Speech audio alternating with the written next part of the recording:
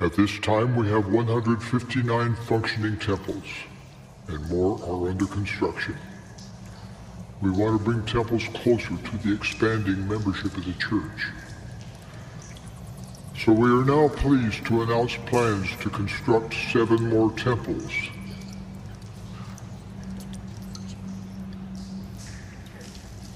Layton, Utah.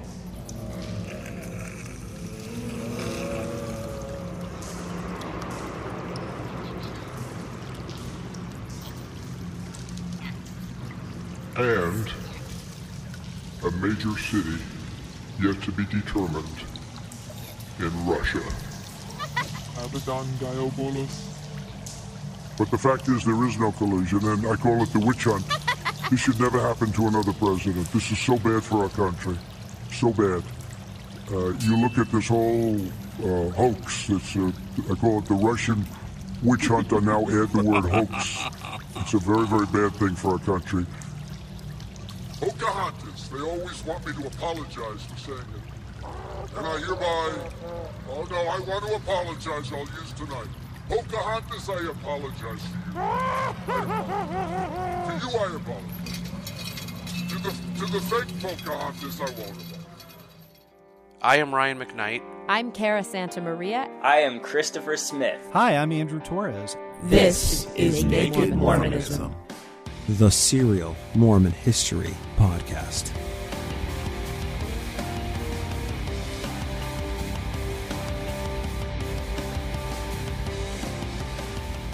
The July Nauvoo Municipal Court hearing had found that Joseph Smith should be free to go.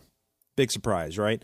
He'd been arrested by Sheriffs Reynolds and Sheriff Wilson of Missouri and Illinois, respectively, and Joe's legal counsel, Cyrus Walker, drew up a writ of habeas corpus for the prophet and filed a complaint against the warrants for arrest that were granted by the governors of Illinois and Missouri. So, you know, governors, you know, major justices in the state, Joe was throwing punches in the big leagues here. The court, however, in Nauvoo was chaired by justices who were all under Joe's control. It was a kangaroo court that never would have sent their prophet and mayor of the city out of Nauvoo to face the gallows in Jackson County, Missouri. At the most basic interpretation, the entire point of this court was to hear whether or not Joe was guilty of the crimes charged against him in Missouri. The court was crafted for the sole purpose of circumventing the judicial system in Missouri. The logic was that they would try Joseph Smith on the Missouri charges in their own court, find him not guilty, have him released on his writ of habeas corpus. Then, when he got arrested again, which seemed inevitable at this point, and actually extradited to Missouri, he could make a case for double jeopardy because the Nauvoo court had already found him not guilty, thus undermining the federal court system. But if I'm going to go with uh, you know examples I've used in the previous episodes, if I kill John Dehlin while he's on a visit to Seattle, and I get 12 of my podcaster friends together in a room to say that I'm not guilty or to say that he deserved it for whatever reason, that doesn't exactly undermine the judicial system. It's ignoring the judicial system, right? But that's what Joe was trying to do here. The Nauvoo court system had just enough legitimacy to be recognized by the state of Illinois, but at the end of the day, everybody knew that it was a sham court that would rubber stamp writs of habeas corpus for criminals in the city, especially the criminal prophet that was ahead of the city. Sheriff Reynolds was not pleased with the outcome. He sent a letter to the Times Picayune out of New Orleans with his side of the story. He recounts capturing Joe and then, you know, being captured by Joe's posse and then getting into Nauvoo. And then he says this, and this is from the July 20th, 1843 number of the paper. Quote, at Nauvoo, I was compelled by writ of habeas corpus in the nature of an attachment to give up the prophet to the municipal court. I refused to recognize the jurisdiction of the court, and after going through a sham ex parte trial, the court discharged Joe on the insufficiency of the warrant, and also, as they allege, on the merits of the case. Be it known that Holy Joe is himself presiding judge of the very court by a quorum of which he was discharged. I then repaired to Governor Ford for aid to assist in capturing Joe, the Honorable Cyrus Walker still following to counteract my movements. The governor has taken the matter under advisement, and what the result will be, I do not know. We'll get into how Governor Ford responded to this kangaroo court momentarily, but for now, Joe was free. But the fight was long from over. The sheriffs were currently in Carthage, Illinois, trying to raise the local platoon of the Illinois State Militia so that they could march into Nauvoo with force and arrest Joseph Smith to be extradited once and for all. Now, this option only had a small window of possible outcomes. You see, Governor Ford could grant them permission to take a division of the Illinois State Militia, they could make it into Nauvoo with that little contingency of the militia, and then they'd be immediately run out of Nauvoo by the far superior Nauvoo Legion. Then, of course, the Mormons would be in open defiance of state laws again, just like it happened in Missouri, and then it would, you know, inevitably come down to a battle of some kind. Um, alternately, the state militia could make it into Nauvoo and try to arrest Joseph Smith, but you know that he would have intel way ahead of them, then he would be hiding like he was for the last six months of, you know, 1842, and they would never find him in order to be able to arrest him.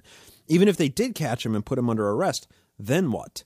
How could a force of a few hundred militiamen get the commanding officer of an army of a few thousand armed men out of Nauvoo? I mean, that as well, it likely would have resulted in a battle at Nauvoo between the Illinois militia and the Mormon militia. Then what?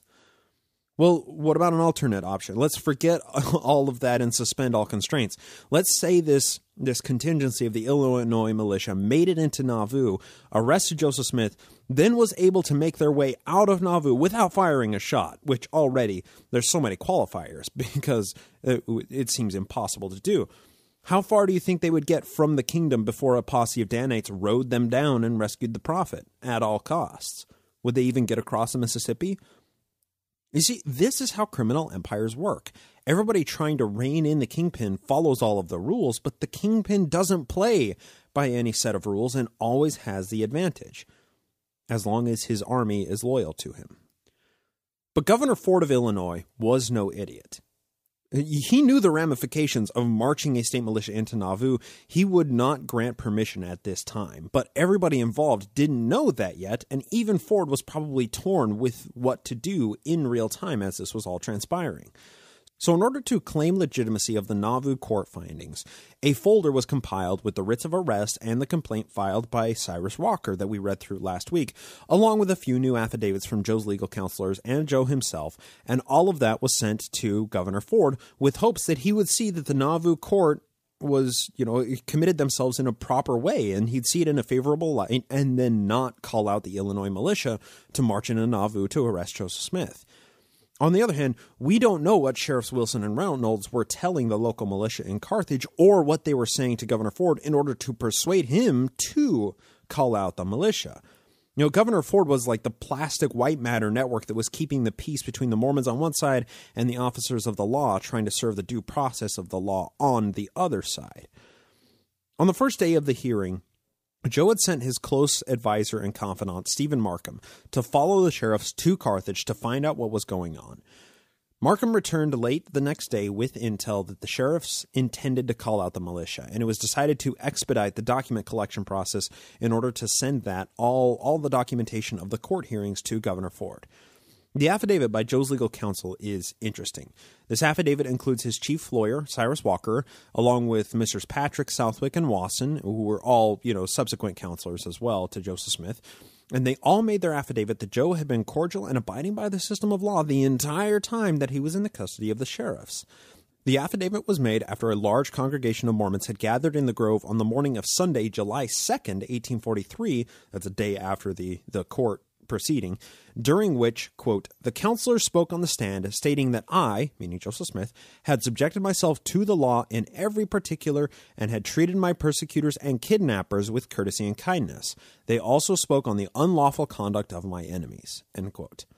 Now, what they said in this public speech wasn't recorded anywhere that I can find, but we can assume was probably largely similar to their affidavit, from which I briefly quote from pages 571 and 72 of the Vogel History of the Church, Volume 5. Quote, your affiants, as well as others in the company at the same time of Joseph Smith's arrest, gave assurance and pledges to said Reynolds that his prisoner, the said Smith, should not escape from him. And the said Reynolds was satisfied, as he avowed, with the pledges aforesaid, and expressed himself to be so at the time, and fully consented that the said Smith might travel on said journey in the manner he did. That no violence was offered to said Reynolds or Wilson, and that to the best of these affiants' knowledge and belief, no threats or intimidation were made use of to influence and control their conduct, either during the journey to or after their arrival at Nauvoo. Said Reynolds and Wilsons dined with Smith at his own house and were hospitably entertained.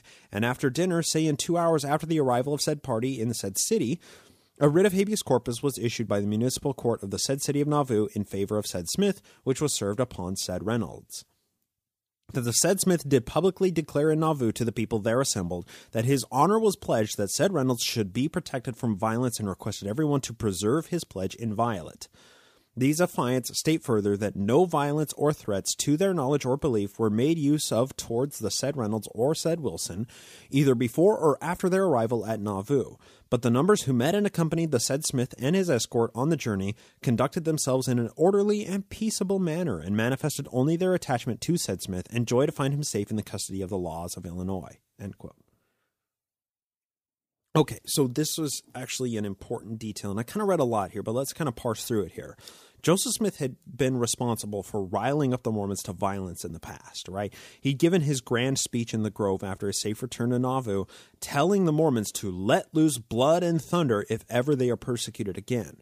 He had a penchant for violent rhetoric and had capitalized on his arrest to excite the religious persecution narrative that he'd been cultivating with the Mormons for over a decade by this point. It was necessary that the record showed that Joe never called for explicit violence against these sheriffs. But that's kind of uh, tongue in cheek a little bit, isn't it? Because he may not have actually threatened them with arrest or with violence or with anything, but when the entire posse was there, that Joseph Smith was under the arrest of Sheriff Reynolds and Wilson, the entire posse of Joseph Smith's Danites and his Nauvoo Legion, they were there controlling the movements of Reynolds and Wilson the implicit violence there, the threat, the looming threat that violence could result if they didn't follow the orders of the Danites, that may not have been stated explicitly, but it was still there. So the, the legal counsel for Joseph Smith saying that they do not know of any violence or threats or believe that any of those were made towards Wilson and, and Reynolds, the two sheriffs, that kind of ignores the implicit threat of just the Danites' presence as they were moving towards Nauvoo. But what is the alternative here, right? So Joseph Smith, you know, he gave this speech calling for to let loose blood and thunder, but what is the alternative to this situation? The simple fact that Joe had to tell the thousands of Mormons present in Nauvoo to not hurt the sheriffs while they're in town reveals that the, the Mormons there were likely in a state of mind where they would have harmed the sheriffs if Joe hadn't explicitly told them not to, right? And that's rather notable to understand the general public tenor in which these sheriffs were brought into Nauvoo under Joe's control. There was always this looming implicit threat of violence. So all of these affidavits were compiled and they were sent to Governor Ford's office in Springfield to show that the whole Missouri situation was dealt with in the Nauvoo court and that Joe did not require extradition to Missouri for the case. Additionally, Joe was able to cobble together a petition to the governor requesting he not issue any more writs of arrest against Joseph Smith, which petition was signed by 150 Nauvoo citizens. Joe directed his counselors and assistants to get the packet hand delivered to Governor Ford as soon as they possibly could, hopefully to beat the sheriffs, right? But the Mormons had to stay ahead of any possible militia action that was raised by these sheriffs if they were successful in petitioning Governor Ford for a detachment of the Illinois State Militia. But we mustn't forget, right? Information traveled at the speed of a horse at this time. Right? I mean, during the Missouri Mormon War in 1838, if we're going back five years into the timeline here, Many events transpired as a result of limited information and people acting on that limited information. For example, Governor Lilburn Boggs signed the Mormon extermination order as a result of hearing that the Mormons had aggressively attacked Captain Bogart at Crooked River. Reports had come to Boggs that nearly every Missouri militiaman had been killed by the Mormons when only two guys had actually been shot. But when the bullets started flying, all of the Missouri militiamen at Crooked River scattered in all directions, each of them thinking that their platoon had been just been eradicated, had been slaughtered by the Mormons. Then each one of these guys went to the nearest town that they could find and then told the people of the battle that they had just survived, reporting dozens of casualties. It was inaccurate intel, but Boggs acted on that inaccurate intel by signing the Mormon extermination order. Had Boggs waited a few days for the proper intel to reach him, you know, it took that long because everything's traveling at the speed of a horse. He may not have acted so hastily, and the history of the Mormon Missouri War conflict may look significantly different today. But the lack of immediate communication forced the Mormons and Joseph Smith to act quickly and deliberately. They didn't know if a militia was on its way to Nauvoo. They had no idea how Governor Ford would react to the events following Joe's arrest, and they chose to act defensively and quickly instead of being blindsided like it happened in Missouri with the Haun's Mill massacre and the militias surrounding the twin Mormon cities when they, you know, surrendered.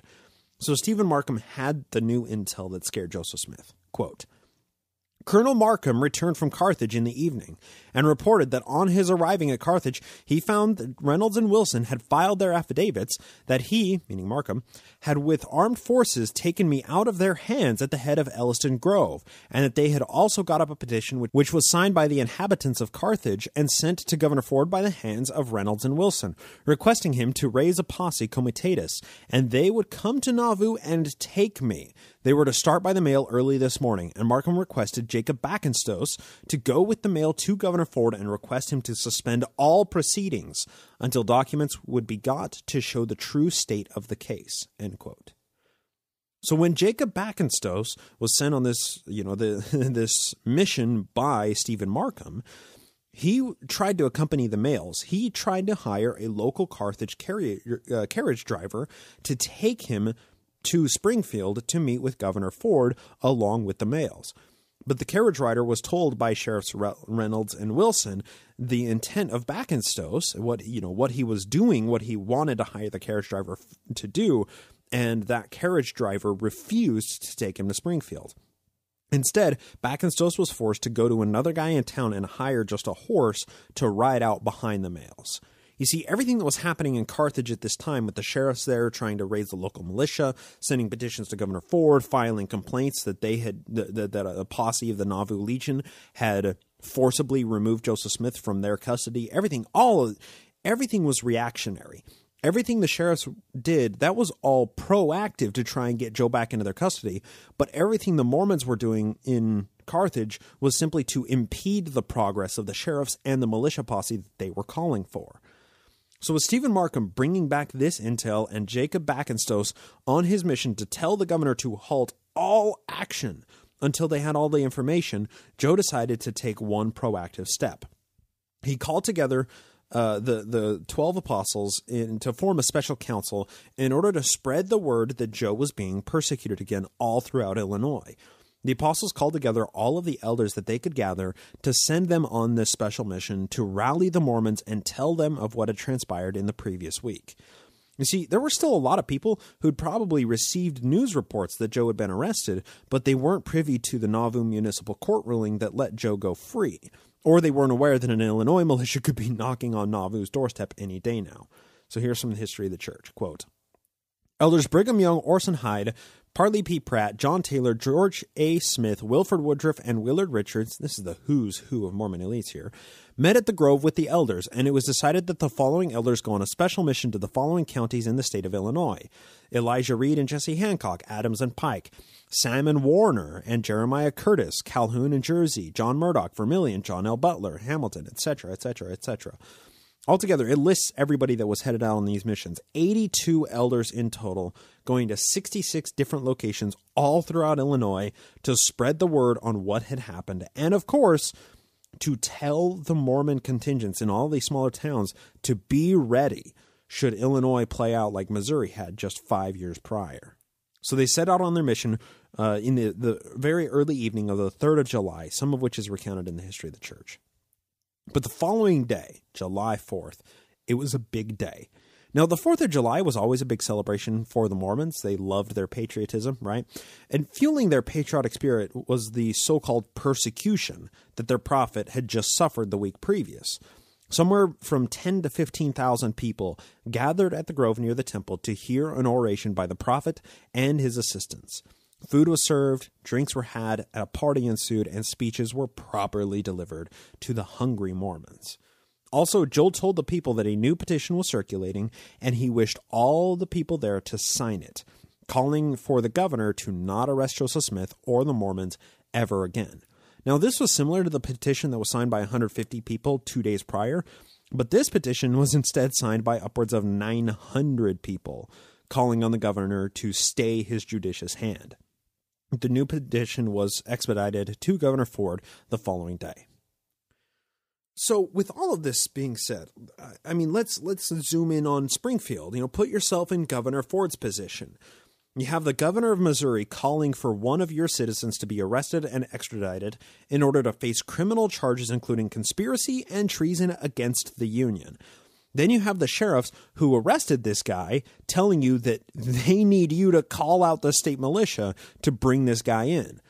Then, on the other hand, you have petitions with over a thousand signatures, along with a packet of court proceedings that supposedly are clearing Joe's name from his own little fiefdom's court. And that of those petitions, of course, were urging you to not follow through with Governor Reynolds of Missouri's arrest and extradition warrants. So he's torn, right? What do you do? This was Governor Ford's response to this flood of petitions and affidavits landing on his desk. It's in the form of a letter that he sent to Joseph H. Reynolds, the sheriff from Missouri that was arresting Joseph Smith or had arrested Joseph Smith. My, my mistake.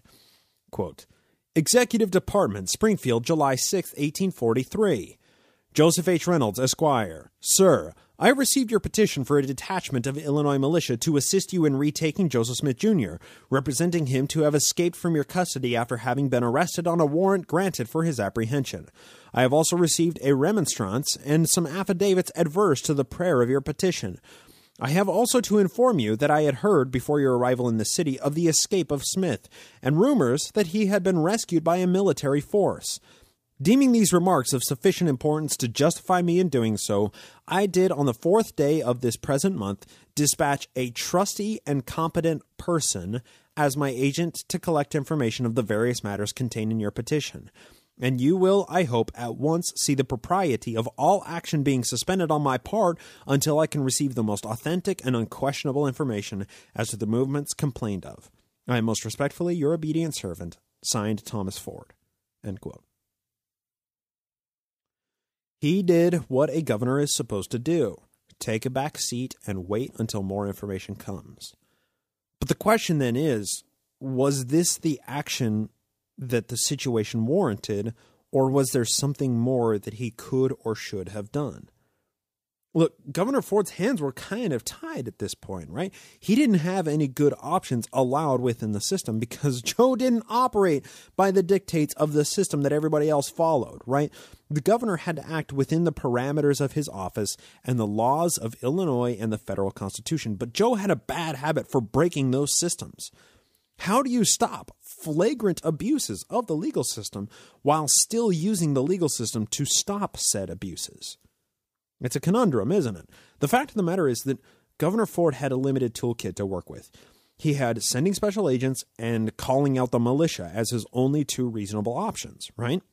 If the special agents couldn't get Joe extradited, if they couldn't collect the information that they needed, and you know, uh, to be clear, the special agents that had arrested Joseph Smith in the first place, Sheriffs Reynolds and Wilson, they were special agents appointed by governors of their states, and they weren't successful in it. So the only remaining option was either indifference or radical escalation with military force. The escalation was a final resort, though, right? Like punishing somebody who double parks their car by blowing up the car, right? But the problem is, Joe was double parking his T 90 tank here. Governor Ford didn't want a religious military conflict on his hands because he didn't want to look like Governor Boggs did at the time, right? He knew that the Nauvoo Legion was under his control, legally speaking, but that they would stop at nothing to defend their prophet if, you know, militias, if combating militias, if it really came down to it. The system of law simply was not equipped to deal with a Nauvoo Joseph Smith, so Ford opted for the least resistant option of sending his own special agent to find out exactly what the hell was going on. Once he had solid intel, he could act with as much pragmatism as a state governor should. As stated by Governor Ford himself, he was much abused for his hands off approach to Joseph Smith and the Mormons at this time, but he didn't have any options, right? The Mormons thought that Ford should treat the situation with more tolerance and latitude, as his predecessor, Governor Carlin, had done. Non Mormons thought that he was being too soft on the criminal empire of Nauvoo. Governor Ford just didn't have any easy options. However, collecting more information and acting upon the new trustworthy intel, that's all well and good if this is the only thing going on. But the problem is here, Joe had many more irons in the fire to ensure his religious revolution. The blueprints had been drawn up, Talos was being constructed. The Mormon uprising seemed an inevitability in Joe's mind because it was the will of God. Each ally that he could make along his path would only strengthen his military and further ensure his success as the Yankee Muhammad, as popular media had labeled him. In view of scorching the earth and building his theocracy on the ruins, Joe actually had a very curious meeting, which was recounted by one of his close friends who attended the meeting, Wilford Woodruff, in his own journal. Before the details of the meeting between Joe and these gentlemen who called on him, let's take a little dive into a little bit of historical background to preface this meeting. Today, I call attention to another anniversary, the 250th birthday of the very great Andrew Jackson.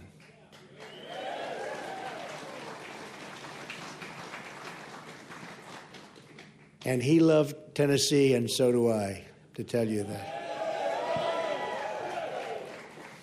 On this day in 1767, Andrew Jackson was born on the backwoods soil of the Carolinas.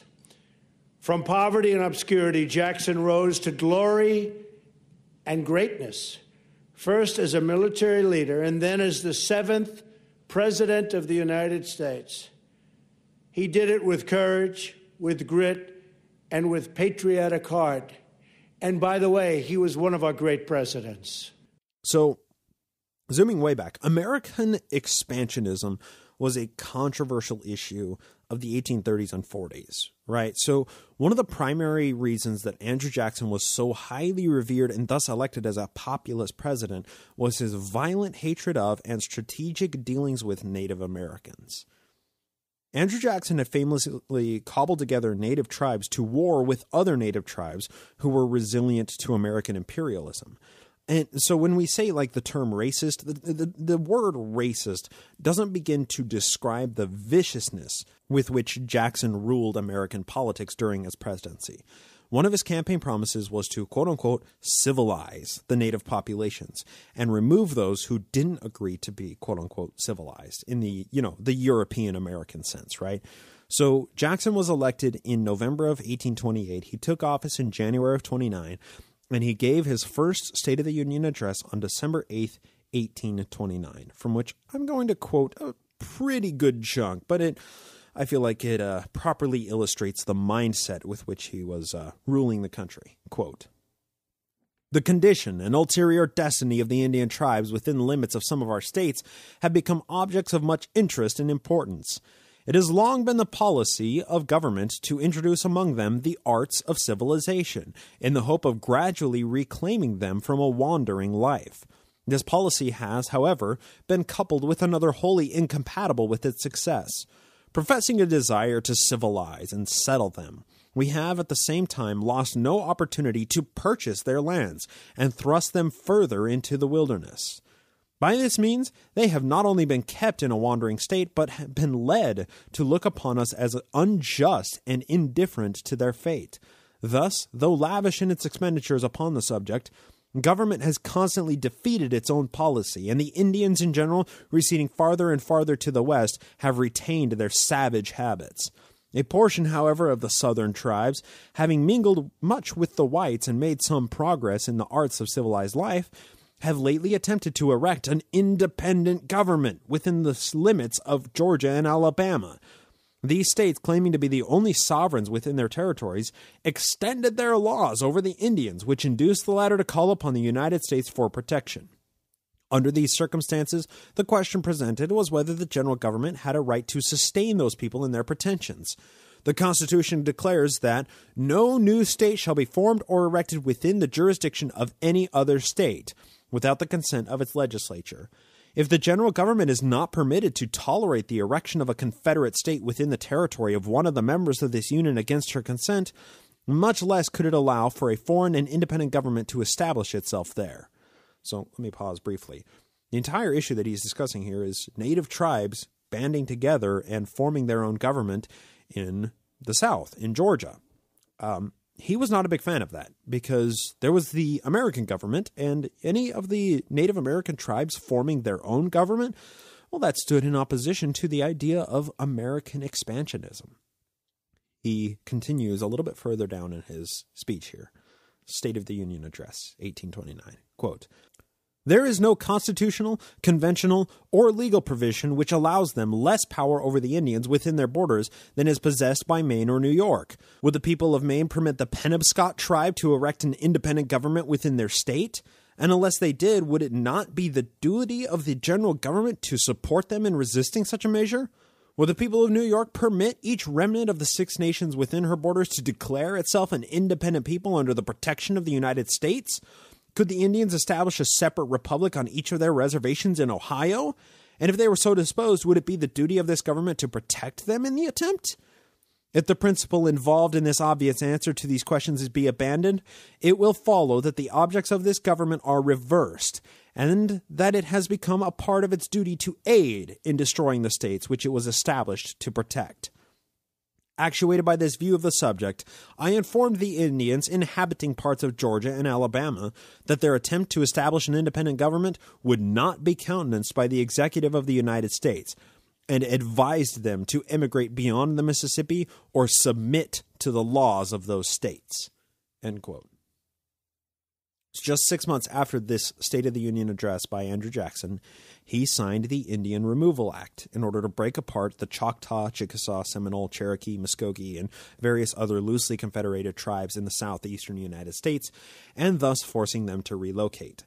Jackson's successor, Martin Van Buren, was largely responsible for putting the Removal Act into effect after the major Seminole Wars had removed those tribes beginning in 1832. But then finally, beginning in 1836, that's when the Trail of Tears began, which sort of ran until about 1850. The Indian Removal Act, the Trail of Tears, and the larger idea of colonialism which created these actions is truly the darkest stain on American history, and you know possibly only taking second place to the African slave trade that was also contemporary with these events. These were atrocities committed by American citizens and the American government. A historian in 2004 cobbled together dozens of stories from the Trail of Tears and published them in a book titled Family Stories from the Trail of Tears. This book included old letters, family reflections, and secondhand accounts of what took place during the Trail of Tears. You'll find a link to it in the show notes, but I'm going to read a few small samplings from this book, and I'm going to forego any commentary on it. I'm just going to let the people speak for themselves. Okay? Here we go. Quote Mary Cobb Agnew my parents did not come to the territory on the Trail of Tears, but my grandparents on my mother's side did. I've heard them say that the United States government drove them out of Georgia. The Cherokees had protested to the bitter end. Finally, the Cherokees knew that they had to go someplace because the white men would kill their cattle and hogs and would even burn their houses in Georgia. The Cherokees came a group at a time until all got to the territory. They brought only a few things with them traveling by wagon train Old men and women, sick men and women, would ride, but most of them walked, and the men in charge drove them like cattle, and many died en route, and many other Cherokees died in Tennessee waiting to cross the Mississippi River. Dysentery broke out in their camp by the river, and many died, and many died on the journey, but my grandparents got through all right. I have heard my grandparents say that after they got out of the camp, and even before they left Georgia, many Cherokees were taken sick and later died. Herbert Worcester Hicks. My father and mother came with the Cherokees from Georgia and Tennessee in 1838.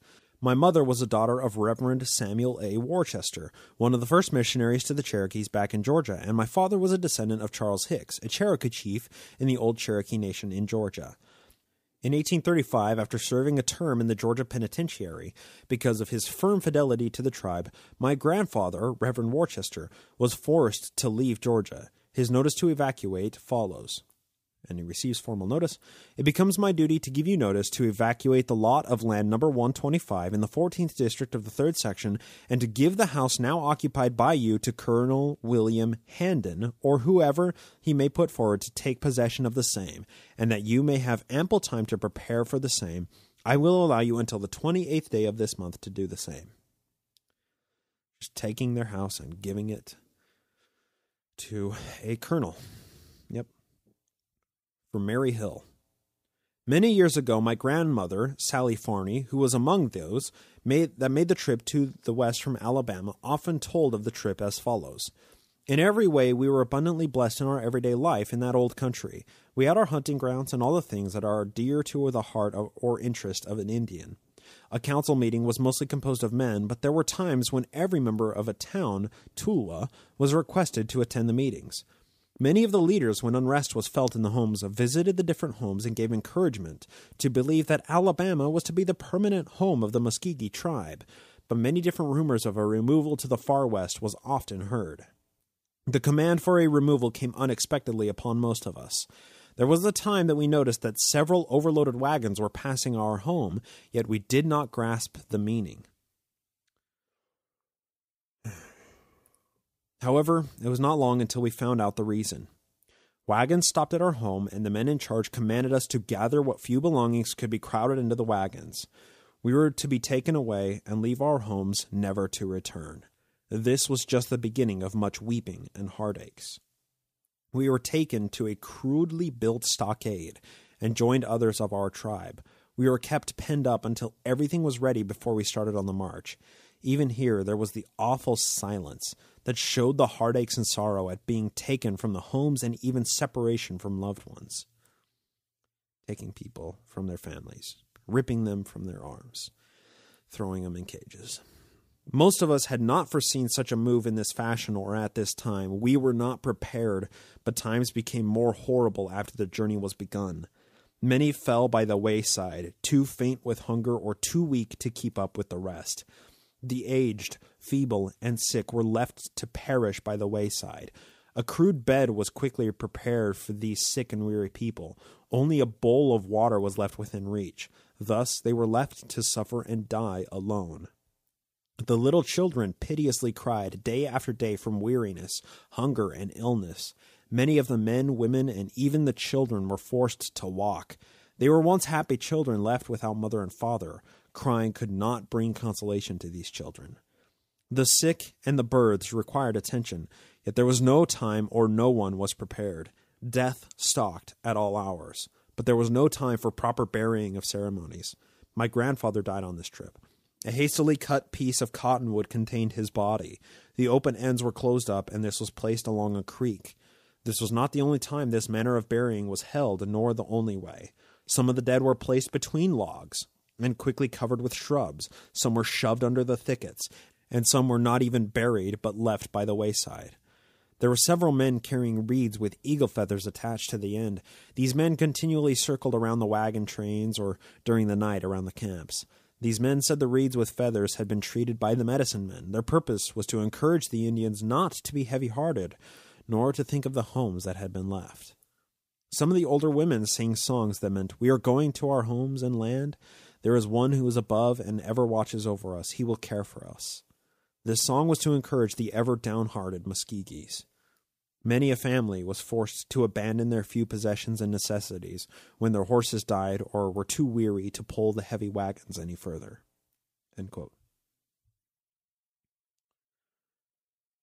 The Indian Removal Act that caused this Trail of Tears to happen, it authorized the American militia to relocate over 15,000 Native Americans west of the Mississippi. Of those 15,000 people, some estimates say that only half of them survived the Trail of Tears. What's even more concerning is that the Trail of Tears was just the boil over point. Okay, European colonialism was running at a constant rate throughout the entire settlement and expansion era of America, beginning in the early to mid 1600s. Native tribes were constantly being exterminated and relocated. Some would resist, others would confederate with other tribes during their resistance, but all of them were put down. Some of them would sign treaties, which were later violated by the government who had signed the treaties in the first place. Others were never even offered the option of signing treaties. This rolling boil, that was a constant for roughly two centuries by the time Joseph Smith and the Mormons became a thing. But the Indian Removal Act and the resulting Trail of Tears was the boil over point that accelerated colonialism in America from that time forward. For the entire history of Mormonism, the Mormons always benefited from natives being removed from their native lands. When they were settling in Missouri beginning in the early 1830s, they were only able to afford that land because the government had seized those lands from natives and were selling it off for almost nothing. Similarly, Commerce, Illinois, which later became Nauvoo when the Mormons got the Nauvoo Charter rubber stamped through the state legislature, that was an area of diverse native settlements less than half a century before the Mormons put down roots there. The 20,000 acres of land that they had purchased in the Iowa Territory was highly disputed, and it was known as the Half Breed Tract, an area made possible for European American settlement because of treaties the government had signed with natives and then later violated those same treaties by exterminating them. And beyond all of that, the Book of Mormon itself was written by Joseph Smith as a history of the Native Americans in order to Christianize the natives the way that many religions were doing contemporary with the Mormons. If the Book of Mormon actually accomplished its initial intent, the Native Americans who read it would convert to Christianity and would follow the prophet to overthrow the American government and build Zion, the New Jerusalem, on the American continent so the earth would be renewed and receive its paradisiacal glory. That is still a central article of faith of Mormonism. The first missionary effort was explicitly to proselytize to the Native Americans who'd recently been removed to a small town just outside of Jackson County, Missouri, where the mission was a complete and utter failure. From its inception, Mormonism has always benefited from American imperialism. So, why then was this little history and culture check necessary? Why do we even need to talk about the plight of the Native Americans? Well, the meeting that Joe had that I used as a jump off point to discuss this subject was with some Potawatomi chiefs. This is recounted by Wilford Woodruff in his journal, and this is how the meeting transpired between Joseph Smith and these Potawatomi chiefs. Quote, on the second day of July, 1843, President Joseph Smith and several of the twelve met those chiefs in the courtroom with about twenty of the elders. The following is a synopsis of the conversation which took place as given by the interpreter. The Indian orator arose and asked the prophet if the men who were present were all his friends. Answer, yes. He then said, We as a people have long been distressed and oppressed. We have been driven from our lands many times. We have been wasted away by wars until there are but few of us left. The white man has hated us and shed our blood until it has appeared as though there would soon be no Indian left. We talked with the Great Spirit, and the Great Spirit has talked with us. We have asked the Great Spirit to save us and let us live. And the Great Spirit has told us that He had raised up a great prophet, chief, and friend who would do us great good and tell us what to do. And the Great Spirit has told us that you are the man, pointing to the prophet Joseph Smith. We have now come a great way to see you and hear your words, and to have you to tell us what to do. Our horses have become poor traveling, and we are hungry. We will now wait to hear your words. The Potawatomi were yet one more tribe who suffered as a result of the Indian Removal Act. They had their own Trail of Tears, known as the Potawatomi Trail of Death, that happened in 1838. This Trail of Death began in northern Indiana in an area known as Twin Lakes. It passed all the way down through Indiana on a southwestern route, straight through Illinois, crossing the Mississippi at Quincy, which is just a few miles from Nauvoo, through Missouri from east to west, passing through Independence, and then just over the border of the Mississippi to Kansas in a little town called Osawatomie. There's just shy of a thousand Potawatomi natives that were exterminated, and official numbers list the death toll at over 40 people, which you can be sure is wildly understated if it was anything like the Trail of Tears that was happening the same year. So, whenever we discuss how much the Mormons suffered during their extermination from Missouri to Illinois in late 1838 to early 1839, it's worth noting that at least they retained possession of some of their land that they could sell. They retained the majority of their personal effects, and most importantly, they were allowed to live. and to migrate to Illinois under their own power and authority. When we compare it to what was going on everywhere else in the country with native tribes being exterminated in the genocidal definition of the term, the Mormons got off pretty easy because they were white Christians, right? The natives were killed, exterminated, and brutally removed from their lands, resulting in genocide at the hands of frustrated white European Christian colonialists who wanted the natives to build houses with white picket fences and send their kids to Western cultured schools and convert to their de jure religion. When the natives refused to give up the culture and ritualism that they'd been living for thousands of years and the land that they'd been living on for just as long, or even if they did agree to become quote unquote civilized, they were killed or moved where Europeans weren't settling at that very moment, only to be removed or killed once again once the frontier expansion reached their next reservation. While we've ever only just mentioned the plight of the natives in this show during our timeline, we should always recognize that this is the background upon which our historical timeline is laid.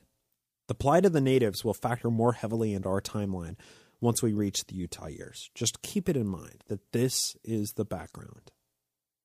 So, with that all in mind, the question is why would these chiefs be meeting with Joseph Smith. Now, if we go by Wilford Woodruff's reporting of what he remembered that the interpreter had said, I mean, you see how many margins of error I had to build into that sentence. The reason they were meeting with Joseph Smith was because their Great Spirit had led them to meet with a prophet who the Great Spirit had raised up who would help them and tell them what to do. Any time that Native Americans were willing to reach out to a paleface for help, you know they truly had no other options. Just consider what these native chiefs may have heard about Joseph Smith that led them to ask for this meeting, right? I mean, these natives were living on the native reservation just across the Kansas state line from Jackson County, Missouri. Joseph Smith and the Mormons were the talk of everybody in Missouri, right? Because they were still feeling the effects of the Missouri Mormon War, and Governor Boggs had just been, you know, almost assassinated. So, what might these natives have heard about this crazy bastard in the far off land of Nauvoo? Right? I mean, think about this. Joe had raised his own personal armies in multiple states. He had flaunted the laws of every state that he had ever lived, lived in. He had committed treason against the Constitution. He had gathered a diverse group of people and had successfully established an immigration effort that was funneling thousands more Europeans into his kingdom on the, the Mississippi. He had done all of these things while ignoring every system of law that he had ever fallen under, and yet he had never been killed by the government for his actions. Every time a native chief or group of chiefs had ever tried to do anything like what Joe was able to do, they'd been subjugated, massacred, and removed from their lands by the government. I, I shouldn't have to say it so obviously, but Joe was able to do all of that because he was a white Christian guy with friends in high places. The Potawatomi tried to resist the forged treaties of resettlement, but they were answered with violence by General Tipton of the Indiana militia, who surprise attacked their settlement under the guise of negotiation discussions. Once the group had surrendered, General Tipton burned their settlement to the ground, destroyed their crops, and killed most of their livestock to ensure that the Potawatomi would never make any attempt to resettle in the area.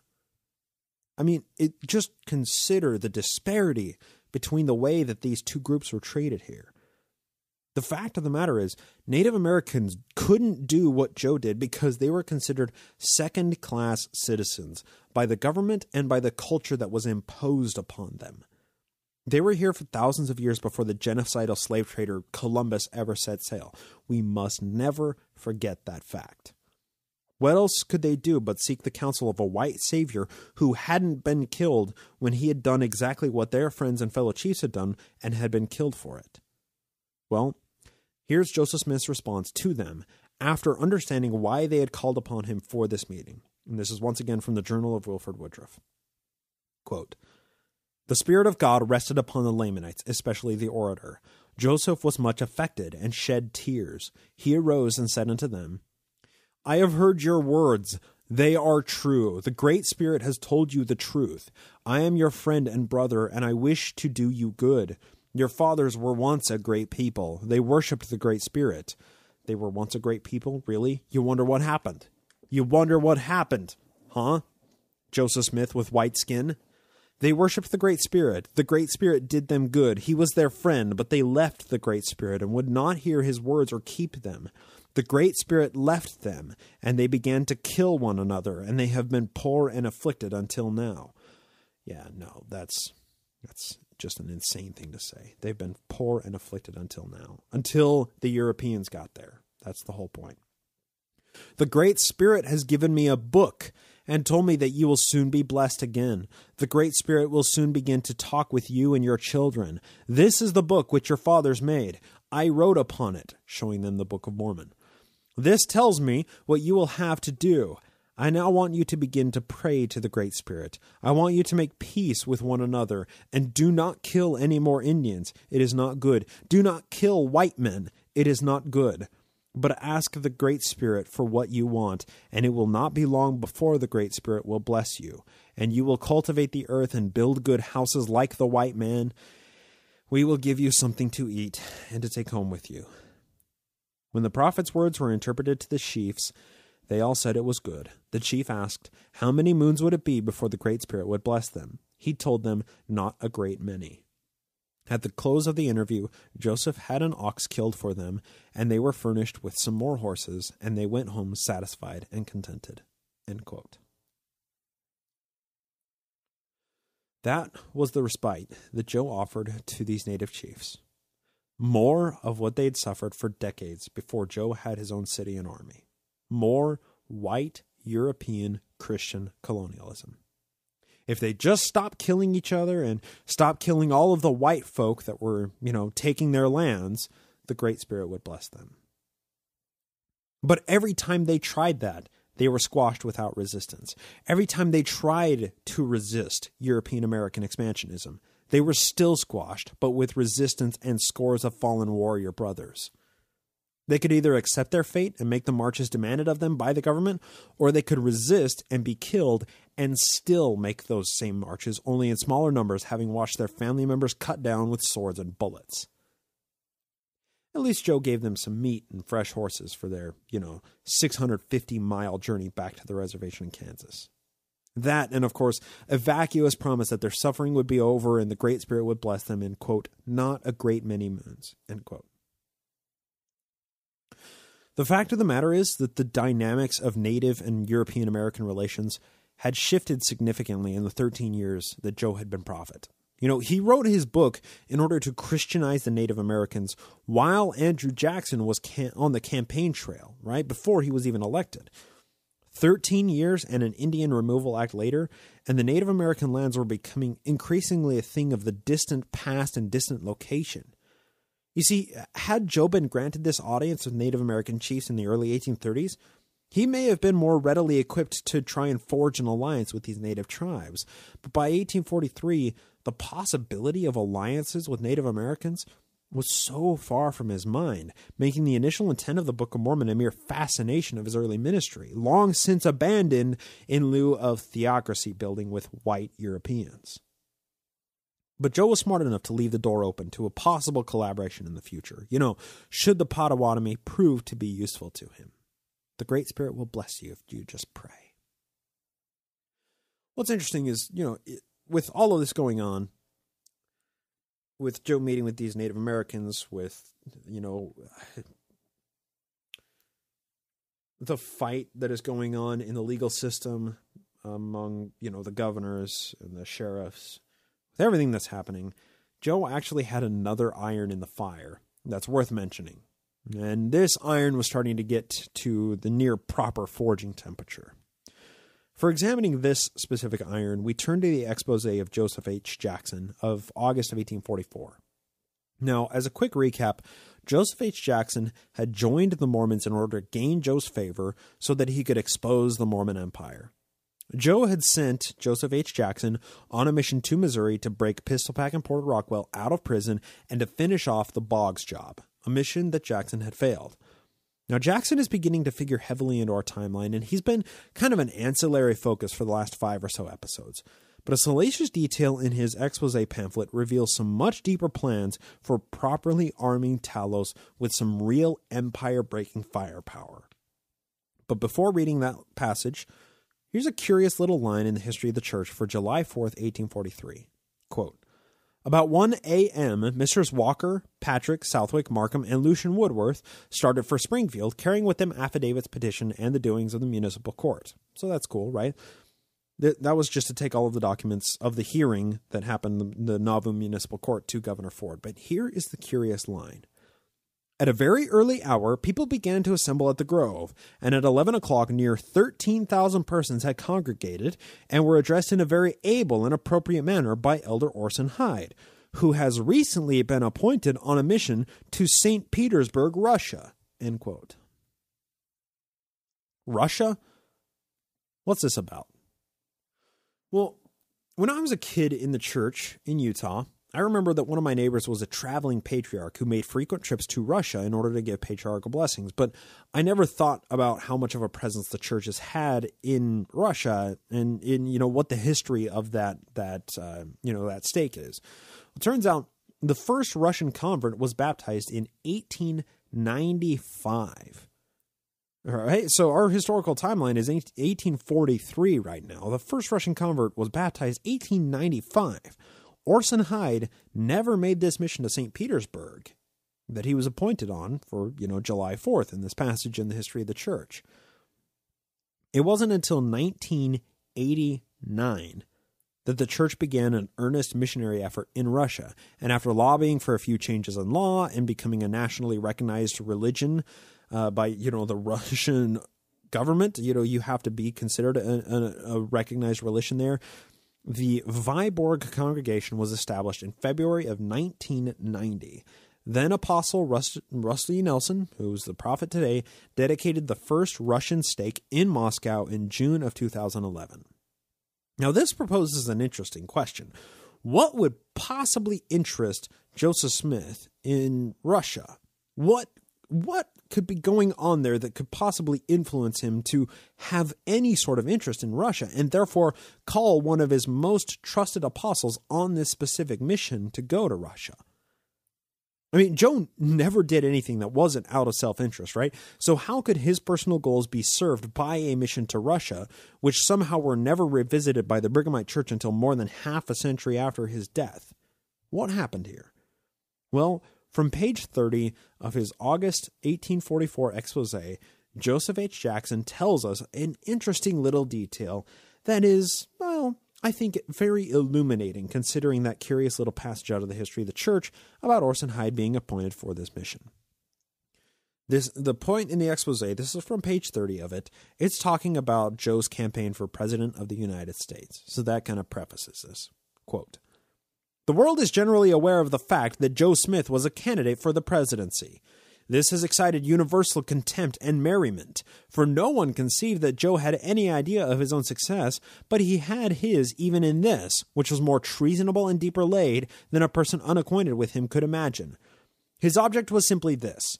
There was a Mr. Brown, formerly of Rushville, with whom I became acquainted in Nauvoo soon after my arrival there. This man has a wonderful genius for invention, and has planned a submarine, battery, and steam fire ship, which to all appearance is capable of great execution. A submarine, a steam and battery powered submarine.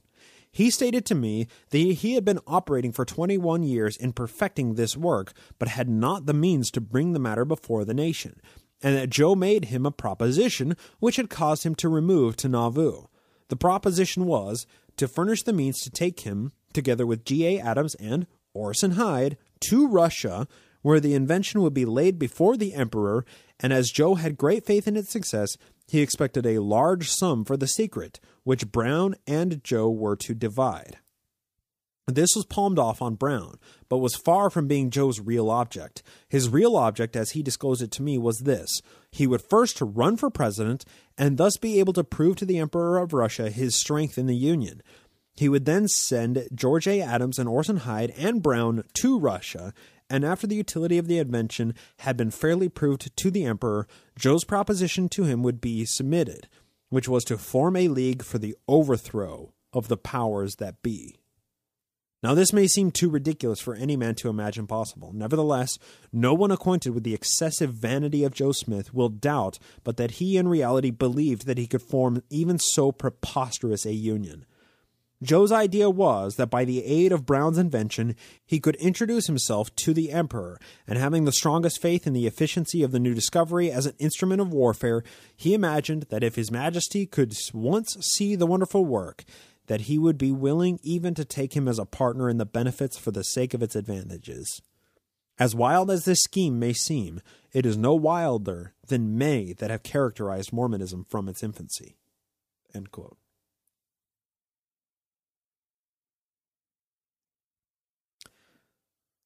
Aligning with the Emperor of Russia with a new invention of the submarine to overthrow, quote, the powers that be.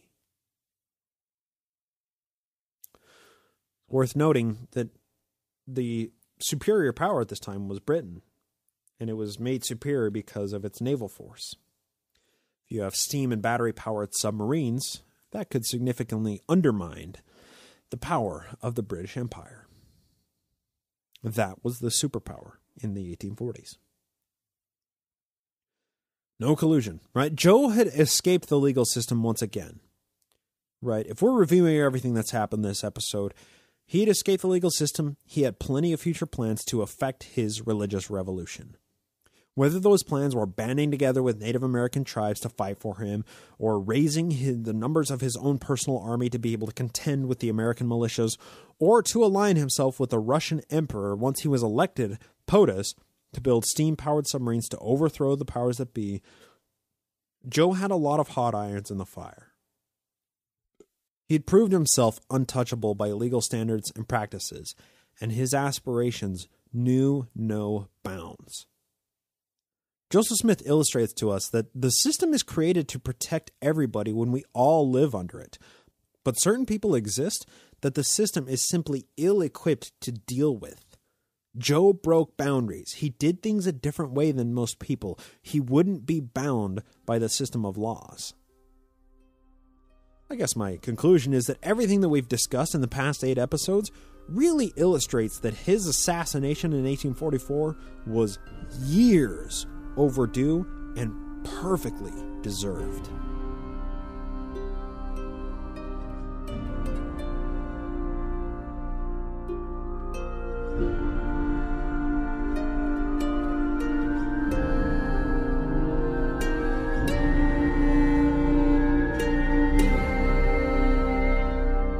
And that's going to do it for the main segment today. Don't go anywhere. Still got a couple of announcements. So if you are in the southern Utah area, I should say southwestern Utah area, there's a couple of events coming up. So first off, we have a presentation that I'm giving to a local meetup group in St. George, Utah.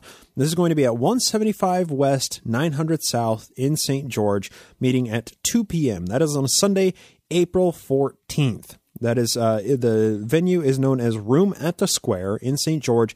Um, it's this is something that's organized by the local meetup group in St. George, a local ex-Mormon meetup group, I should say, in St. George.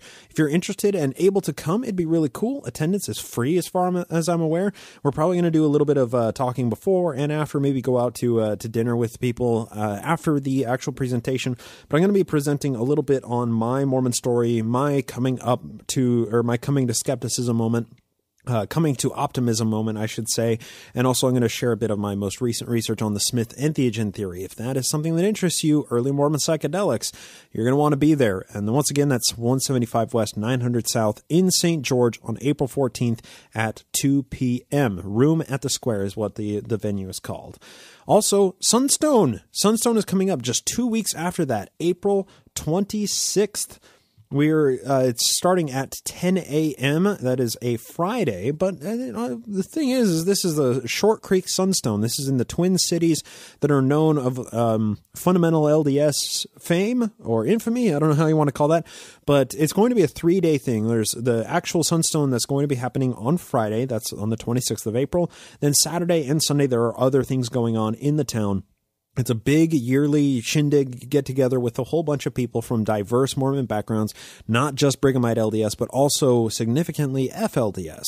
Um, so what we're planning on doing is Colleen of the Mormon Happy Hour podcast and I are uh, hoping to host kind of like a panel discussion while we are there and interview various people throughout the day, people who are presenting, people who are just attending, still getting the names and the exact people nailed down, but we're going to be in the same building that the actual Sunstone is being held. So once again, that is April 26th if you're in the southern Utah area or you know anywhere nearby or if you want to make the trip to southern Utah for either of these events it'd be really cool to see you. April 14th and April 26th 2019 and with all of that we have a couple of new patrons to thank. This is at patreon.com slash naked mormonism.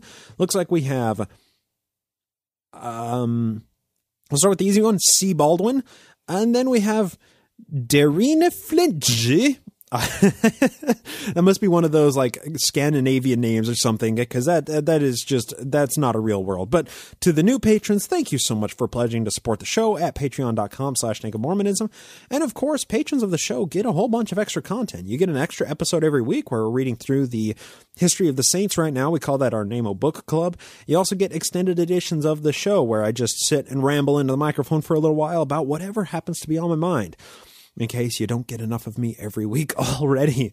And you know what? It's been a while since we've done this, but I'm going to thank our patrons who have joined in the Namo Outer Darkness. This is people who pledge at the $5 an episode or more level. We have Preston, Judy, Chris and Christy J, Frank, Kevin, Philip, Mindy, Karen, Shelley, Darth Mandy Pants, Sarah Rodrigo, Andrea, Shane, Bear, George, Andrew, Eric, Dan, Lane, Derek, Stewart, Jared, Howard, David, James, and Doug. So, to all of these patrons who are at our NAMO outer darkness level or higher, thank you all for your support. You form the backbone that keeps this podcast running, keeps the lights on over here at Ground Gnome Studios, and it's thanks to you that I'm able to spend my day reading Mormon history and reporting it to you in hopefully a digestible and palpable fashion. And of course, if you don't have the money to support over at patreon.com slash Mormonism, it'd be great if you left an iTunes review or, you know, a review on your podcasting app of choice. That really helps with visibility, helps spread the word, the good word, some might say it, the marvelous work and the wonder. Um, and of course, for all of those listeners out there, for everybody that hit the download button, everybody who's joined in to, uh, to tune along and, and uh, listen to the show, thank you so much for lending me your ear. Hope to talk to you next time here on the Naked Mormonism Podcast.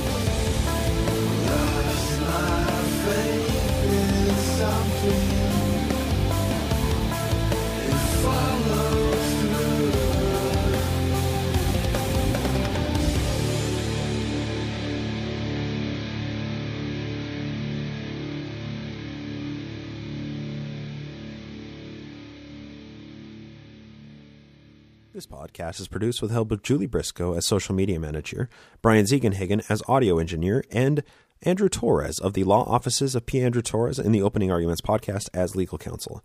Music is written and performed by Jason Comeau of a loststateofmind.com and used with permission. Naked Mormonism is a production of Ground Gnomes LLC, copyright 2019, all rights reserved.